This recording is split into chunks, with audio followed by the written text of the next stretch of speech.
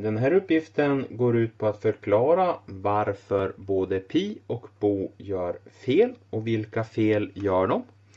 Och då kan jag plocka fram en penna så att jag kan ta och skriva in vad de gör för fel. Om vi tittar på Pi först så Pi tar och multiplicerar med 2 och dividerar med 2 där. Så den här multiplikationen är helt okej. Okay. Ändrar ingenting på den andra termen. Sedan så 2 multiplicerat med 1 det är 2. Sedan har vi det här minustecknet och det är det minustecknet. Sedan har vi x plus 1. Och det är där felet kommer in. Det pi skulle göra det är att sätta en parentes runt den här efter minustecknet. För det är minus både x och 1. Så det är minus x och minus 1 egentligen.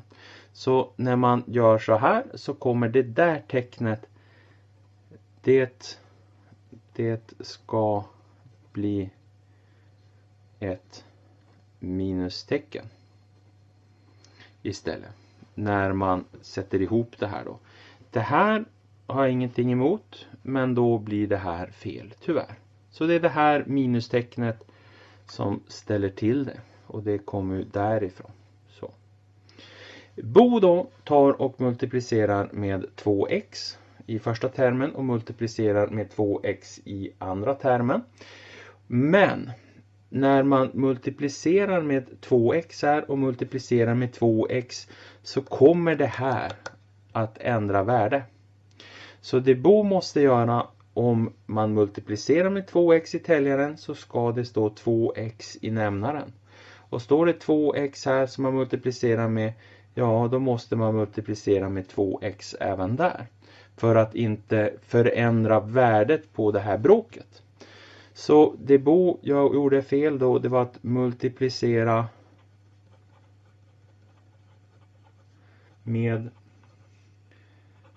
samma faktor både i täljare och nämnare. För gör man inte det så förändras värdet på hela det här uttrycket.